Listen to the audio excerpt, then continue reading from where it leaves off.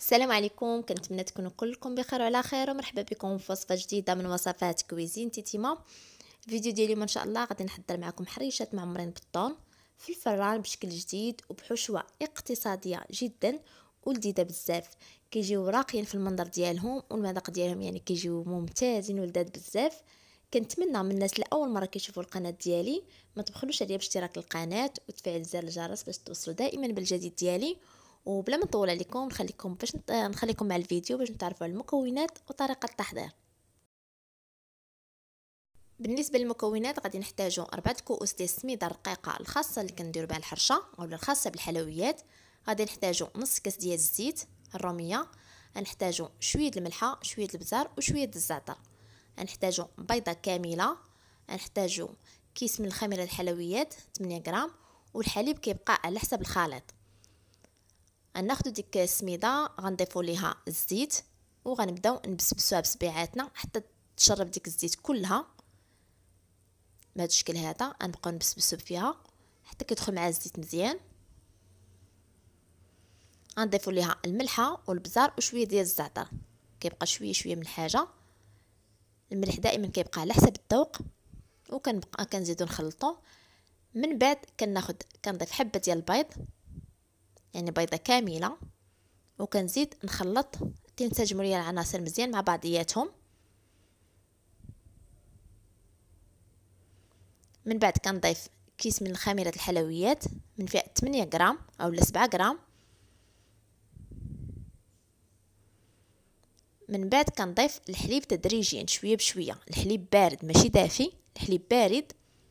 وكنبدأ نخلط شوية بشوية وأنا كنحرك بصبع يديا كيف ما كتشوفوا كنزيد نضيف الحليب. كيف ما كنعرفوا أن السميدة كتشرب الحليب يعني قد ما درتي لهاد الحليب راه كتشربوا هنا بالنسبة لي مازال خاصني الحليب لحقاش خاصها تكون شوية جارية. أنا ضفت الحليب عاوتاني.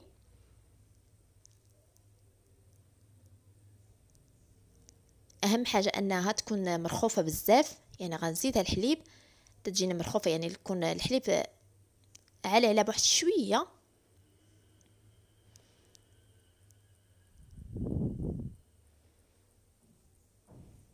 كيف ما كنعرفوا كنا أن السميده دغيا كتشرب.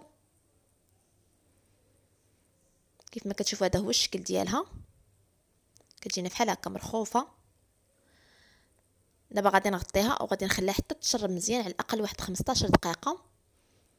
من بعد فاش دازت 15 دقيقة كيف ما كتشوفوا هذا هو الشكل ديالها يعني كتكون كتولي شربات شوية الحليب يعني ما كتبقاش جارية بزاف اولا مرخوفة. يعني ماشي كتنشف مرة ولكن كتبقى شوية. كناخذ هنا هاد الليمون اللي كيكونوا ديال المول العجيب كيكونوا صغارين صغار بزاف. كناخذهم المهم المحلات اللي خاصين بالحلويات اللي كيبيعوا داكشي الخاص بالحلويات.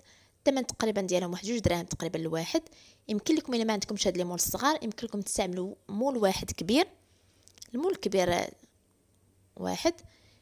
فقط إلا كنتو باغيين ديروهم فرديين فيه ديروا هاد المول الصغار الثمن ديالهم رخيص بزاف جوج دراهم الواحد تقدر دير فيهم بزاف د الحوايج ماشي فقط الحرشة كندهنوهم بالزبدة كلهم كيف ما كتشوفوا. دهنتهم كلهم بالزبدة وغادي يعني نغطيهم بالسميده كندردر عليهم السميده مزيان الشكل هذا. كنبقى مستمرة على الشكل حتى كنغطي كلهم ليمون ديالي. بالزبدة والسميدة. من بعد كنجيو كنفرغ فيهم الحرشة. هذا الشكل هذا كندير واحد المعلقة تقريبا معلقة كبيرة. ما كنعمرش ليمون حتى الفوق كنقاد لها الوجه ديالها مزيان. ما كنعمرش ليمون حتى الفوق لحقاش كتزيد تنفخ. كنخلي واحد شوية فين تطلع بنفس الطريقة كنزيد نعمر مول آخر. يعني كندير تقريبا واحد المعلقة كبيرة. وكنقاد الوجه ديالها. نبدا نضرب فيها شوية باش يتقاد السطح ديالها. كنبقى مستمرة حتى كنكمل نعمرهم كلهم. ندخلهم دابا للفران حتى يتحمروا ليا من الفوق لتحت هذا باش نخرجهم. غنخليو ندخلهم للفران ونمشيو باش نوجدوا الحشوة. غناخذ واحد المقلاة وغنوضع فيها القليل من زيت الزيتون اولا زيت الروميه اللي بغيتو. غنضيف لها واحد حبة ديال البصله مقطعة رقيقة اولا مشلضه رقيقه غادي نضيف ليها فلافل اولا فلفلة ملونة الصفراء والحمراء والخضراء. أنا كانوا عندي اللي كان متوفر عندك تضيفيه غنضيف العطريه بالنسبة للعطريه غندير شوية التحميره شوية الخرقوم وشوية الملحة شوية البزار وشوية ديال القزبور مطحون اولا القزبور يابس. غنخلط هاد المكونات مزيان مع بعضياتهم وغنخليهم حتى يطيبوا لي اولا حتى يدبالوا ليا. بالنسبة ليا الفلافل فكنديرهم أنايا في الفريغو. من بعد ما طابت ليا الحشوة كنضيف لها واحد علبة ديال الطون. يمكن لكم تضيفوا الكفتة أو الدجاج اللي كان متوفر عندكم. أنا هنا ضفت فقط علبة ديال الطون. وغادي نخلط هاد المكونات مزيان مع بعضياتهم. وغنخليها على جنب حتى كتبرد.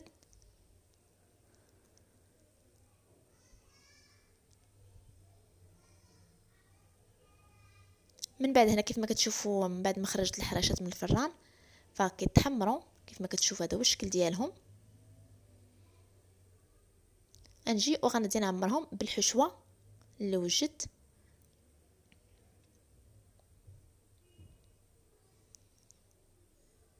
ندير فيهم قياس واحد معلقه نعمر نعمرهم في هذا الشكل هذا. صراحة كيجيو لذاذ بزاف وممتازين.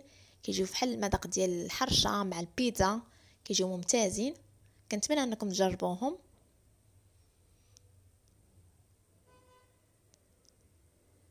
كنبقى مستمره حتى كنعمر الحريشات ديالي كلهم.